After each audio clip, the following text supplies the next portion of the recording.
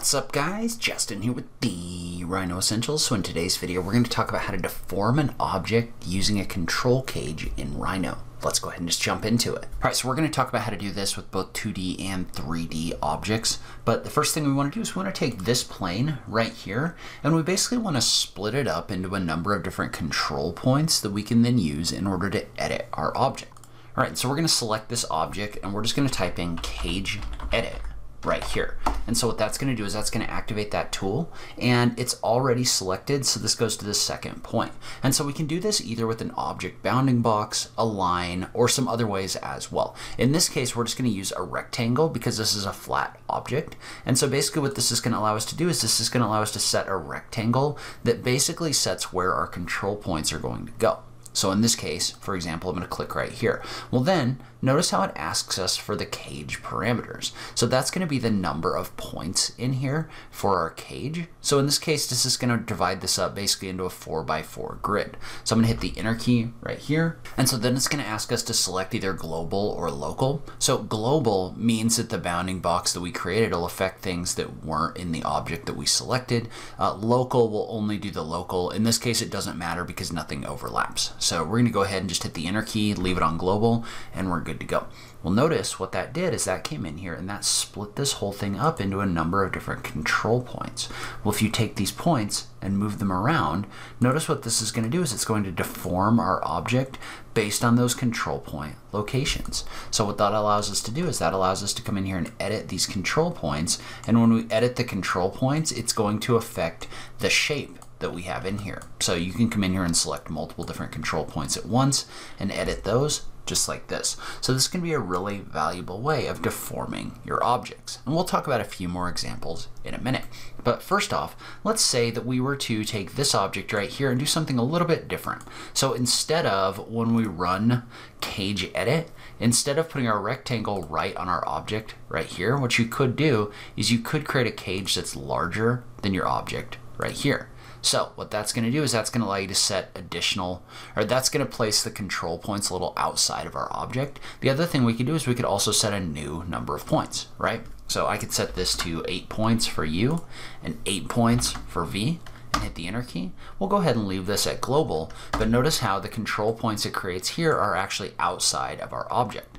So now, if you wanted to, you could select the points that are outside of your object, and it's still going to affect your object, like this, um, depending on which points you edit, right? So if I just edit this corner point right here, it's not really going to do anything because my object isn't inside of this, but you can create control point systems that are outside of your object and use those in order to make these changes as well. So again, this gives you some really interesting functionality for creating interesting shapes in here. So this is the two-dimensional function in here, but then you can also use this for three-dimensional shapes. So let's say that we were to select this sphere, type in cage, edit, right here. And in this case, we want to go ahead and we want to just use the bounding box of this object. So that's basically going to be the object bounds that Rhino automatically figures out. So we're going to select bounding box right here, and we're going to go ahead and use the world for our cage. And then we're going to leave our cage parameters at 4 by 4 by 4 and we're going to hit the enter key. So what that's going to do is that's going to come in here and that's going to create a cage right here. We'll leave this on global and we'll hit the enter key. And so when we use that bounding box, notice how it uses the object bounds in order to create this box in here.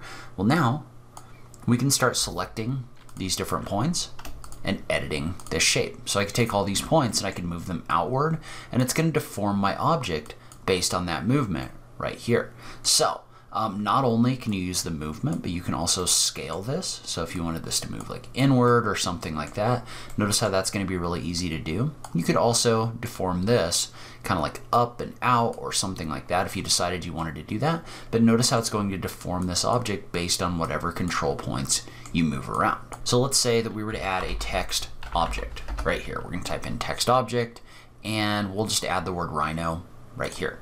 Well, what we could do is first off, notice that these objects are all select, or these objects are all in here as individual objects, right? But if we do a cage edit, it's going to ask us to select objects. I'm going to select these. We're going to hit enter. But what I want to do this time is I just want to create a line. So instead of doing what we did before, I'm going to create a line. I'm actually going to duplicate this first. So we can try a couple different things. but we're going to take this, run a cage edit, and we're just going to use a line. So I'm just going to take a line and I'm going to draw it to a point right here. And it's going to ask for a number of points in here. We'll go ahead and leave it at four, but you could enter a higher value if you wanted to. And we're going to leave this on global and hit the enter key. Well, now, if you look at this object,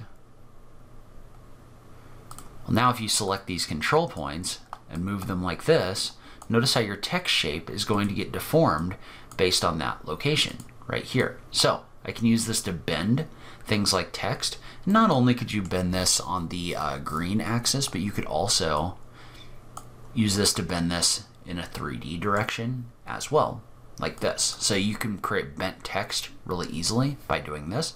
You could also, um, if we were to do a cage edit again, and in this case we're going to select a bounding box, we'll go ahead and we'll use a world coordinate system and let's go ahead and let's leave our cage parameters at 4 by 4 Actually, let's put them in here as 6 by 6 by probably 2, actually, because that would be a lot on a very short area otherwise. But we're going to go ahead and hit the enter key. We'll go ahead and leave this on global.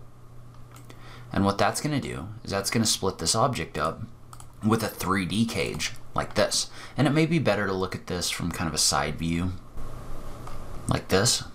But what we could do is for this one, right, we can come in here and we can select the interior points. So let's go ahead and move these up a little bit. Well, notice what that's going to do is that's going to deform this object in the 3D space, just like this. So then we could take these, move them up like this. We might take these uh, bottom ones and move them up as well.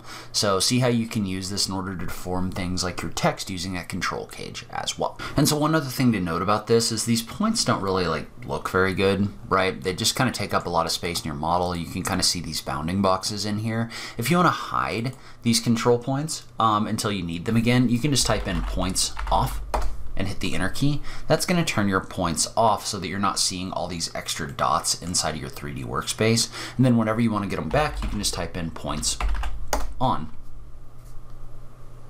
like this. And we're going to go ahead and click on this object and hit the enter key and that's going to bring them back. So you can toggle them on and off just by selecting these control cage instances in here. So if you wanted it over here, you would do a points on you'd select this cage and hit the enter key and your points are going to come back. All right, so leave a comment below. Let me know if you've used this tool, if you've had any issues with it. I just love having that conversation with you guys. I will link some other Rhino tool tutorials on this page, but as always, thank you so much for taking the time to watch this, and I will catch you in the next video. Thanks, guys.